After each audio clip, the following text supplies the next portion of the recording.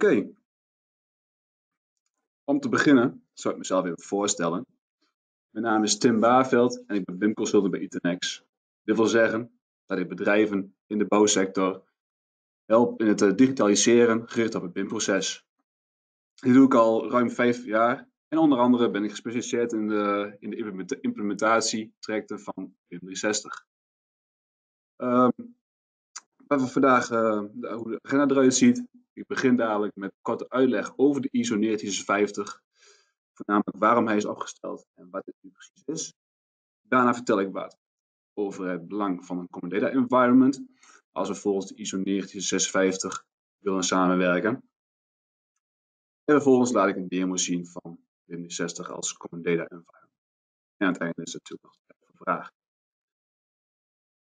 Waarom nou de ISO 1956?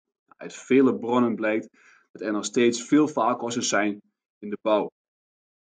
En deze faalkosten zijn te herleiden naar gebrekkige informatieuitwisseling tussen de betrokken partijen.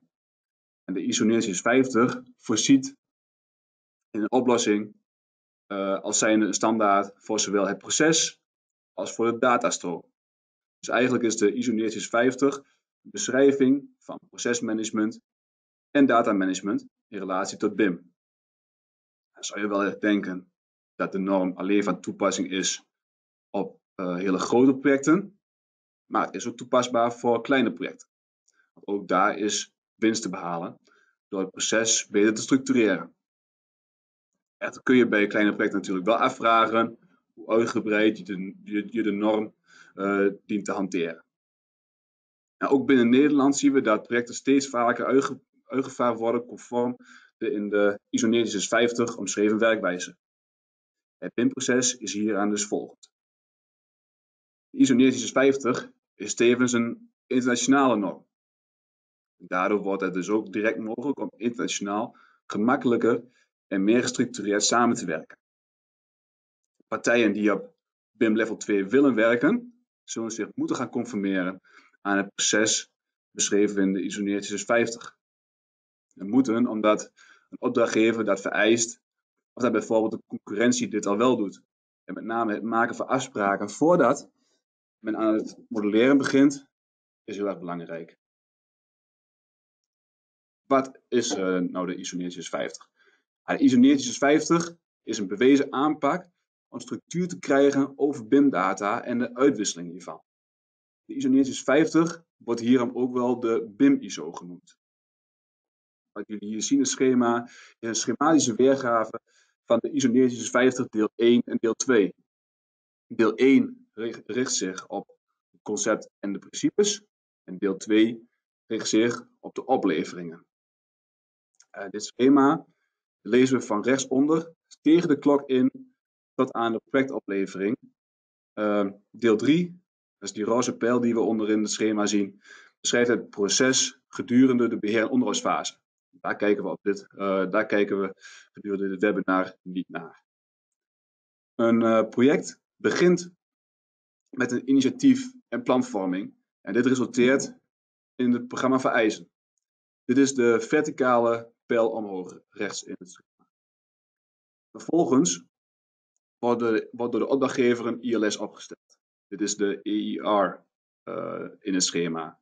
Dat staat voor Exchange Information Requirements. Dit is een randvoorwaarde voor een uitvraag naar marktpartijen. Deze marktpartijen antwoorden op, deze programma, op dit programma vereisen en, en de ILS, informatie middels een concept BIM uitvoeringsplan, die door de opdrachtgever goedgekeurd moet worden. Dan zitten we in de horizontale bovenste lijn naar links. Dan gaan we de mobilization fase in, waarbij het Common Data Environment klaargezet wordt voordat begonnen kan worden met het opzetten van de eerste modellen. Dan gaan we dus rechts, eh, links onderin, mobilisation naar onder. En de rode ruiten onderin het schema geven de verschillende fasen aan in het digitale bouwproces. Om vervolgens het fysieke bouwproces uit te kunnen gaan voeren tot aan de uiteindelijke projectoplevering. Je ziet dat gedurende deze fase in toenemende mate projectdata ontstaat. En voor wie is dan de ISO 9050? Ja, die, is dus, dus, natuurlijk van toepassing op iedereen die belang heeft bij BIM-data. Dit geldt voor het gehele levenscyclus van het BIM. Dus voor alle betrokkenen in het ontwerp, realisatie en ook de exploitatie.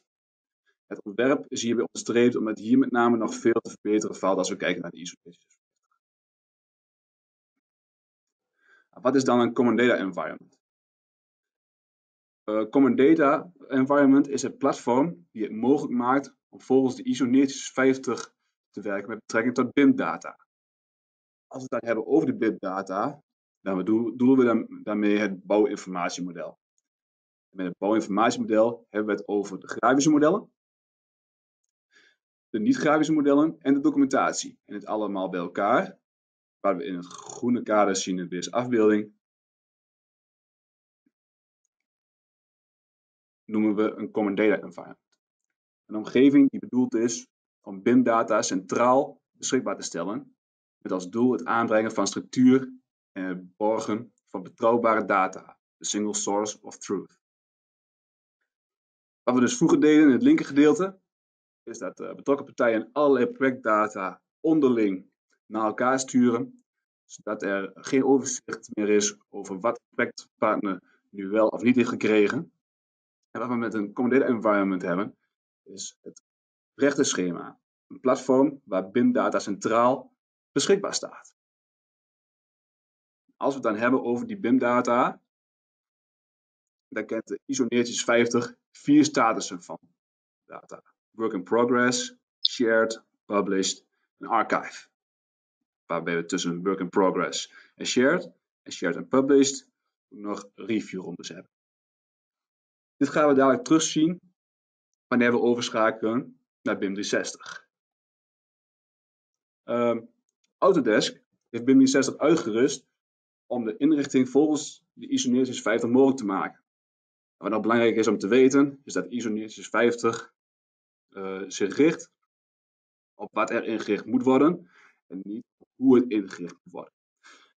Gaan we nu naar het demo en laat ik de inrichting zien van BIM 360 met daarbij een voorbeeld over hoe het proces kan worden ingericht. Staat ik een filmpje daarvan op. We gaan chronologisch door de verschillende uh, statussen van data heen, beginnende bij de work in progress. In, in de BIM 60 omgeving zie je de mappenstructuur zoals de stadia die in de ISO 9050 uh, voorgeschreven wordt. En in dit voorbeeld werkt de projectpartner met Revit in combinatie met BIM 60 Design. De omgeving waar hij zijn eigen data heeft staan is de Work in Progress folder. Die is voor hem toegankelijk. Uh, en naar deze locatie ga je naar de Work in Progress folder. Is de architect. En naar deze locatie synchroniseert hij zijn central file. Is hier in Revit. Dat synchronisatieknopje. Nou, op een moment komt deze partner uh, op het punt dat een deel van de engineering klaar is en dat het gedeeld mag worden met de, partners. Op dat moment is er een review ronde volgens ISO 9050. Check, review, approve. Binnen, binnen 60 kun je deze op meerdere manieren inrichten. Dit kan erg strak worden ingericht volgens een controleronde of minder strak. En bij ons in Nederland zien we dat bestandddelingen binnen een, een fase, zoals bijvoorbeeld de DO-fase, niet zo strak ingericht worden. Het is belangrijk om hier conform de ISO 9050 kritisch naar te kijken. Uh, afspraken hierover leg je vast met je, met je packpartners in het BIM-uitvoeringsplan. En deze demo laat ik uh, deze bestandsoverdracht zien door middel van pakketjes in BIM 60 Design, uh, Design Collaboration module. we zien het model van de architect en het model gaan we delen met de partners. En dan gaan we de laatste stand nu bijwerken. Wanneer deze is bijgewerkt, gaan we een pakketje aanmaken. We zien de tijdlijn in beeld, een rode architect. We gaan het pakketje aanmaken. Als we het pakketje aanmaken, dan kunnen we naast het 3D-model eh, ook uh, kiezen om 2D-sheets uh, te delen. Die zien we dus hier ook in, beeld. Hierin kun je een keuze maken Bij deze doe ik het ook. En dan sla ik het op. En ehm, dan gaan we het, het model gaan we daarna vervolgens delen.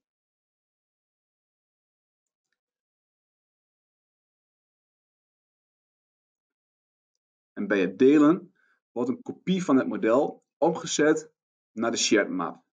Deze shared map is toegankelijk voor alle partners. Bij de work in progress folder alleen toegankelijk is voor de, partners, uh, voor de projectpartners. Nou, hier hebben we dus staan.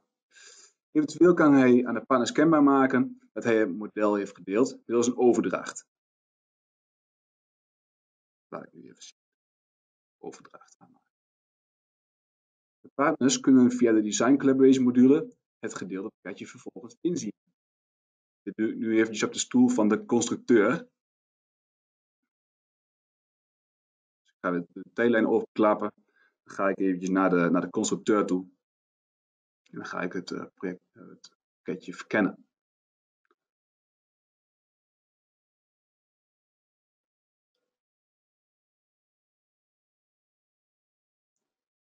zie dit maar uh, verkennen als een, als een review die de is verder Binnen dat verkennen kunnen we onder andere uh, ja, kunnen we de, de set inzien. Dat is, uh, dus kunnen we sheets bekijken.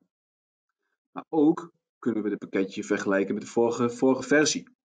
Dit geeft ons dus inzicht in wat er gewijzigd is tussen de verschillende gedeelde versies. We zien hier bijvoorbeeld uh, dat in deze versie een binnenkozijn is toegevoegd. En dat er twee, twee deuren, binnendeuren zijn toegevoegd.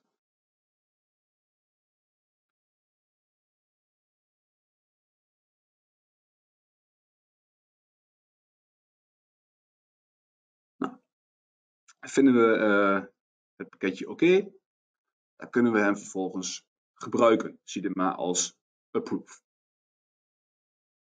Wanneer de partner het pakketje gebruikt, wordt deze gekopieerd naar de consume folder in zijn eigen work-in-progress omgeving. Dus de constructeur die approved nu de, het pakketje van de, van de architect. We gaan naar de work-in-progress folder van de constructeur.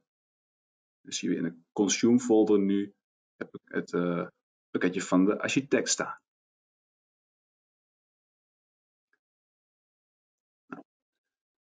Tot nu toe is dit de normale workflow die je met je projectpartners tijdens een bepaalde ontwerp, ontwerpfase hanteert. Wanneer, we het project, wanneer het project dusdanig is uitgewerkt dat het officieel kan worden gedeeld, wil je de data van shared naar publish krijgen.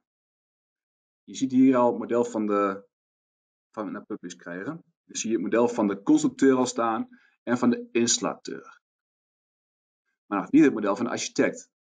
En de ISO 1950 schrijft tussen shared en published weer een reviewronde voor. Dit kan in BIM 60 worden ingericht door een beoordeling te starten. Weer een hardere vorm van, uh, van, een, review, van een reviewronde. hiervoor gaan we terug naar de shared folder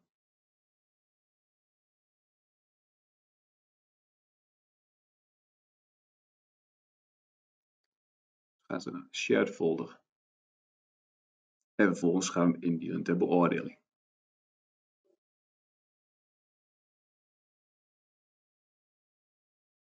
Oké, als voorbeeld gaan we nu dus het model van de architect indienen ter beoordeling. Binnen die 60 kunnen deze worden aangemaakt in verschillende gradaties, die vrijgave werkstroom. In dit voorbeeld heb ik één controlestroom aangemaakt voor uh, alle prestatiemodellen en deze controlestroom is uh, ingeregeld dat bij goedkeuring het bestand wordt gekopieerd naar de published folder.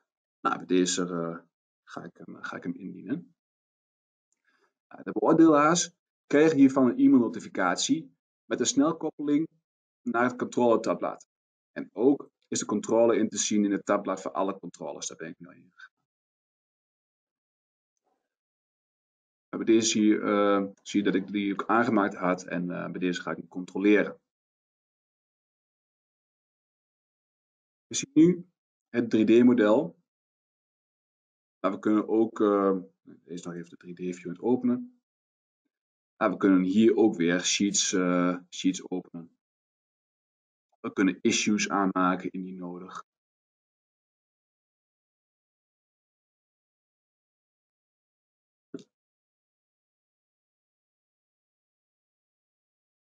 Even door de sheets heen.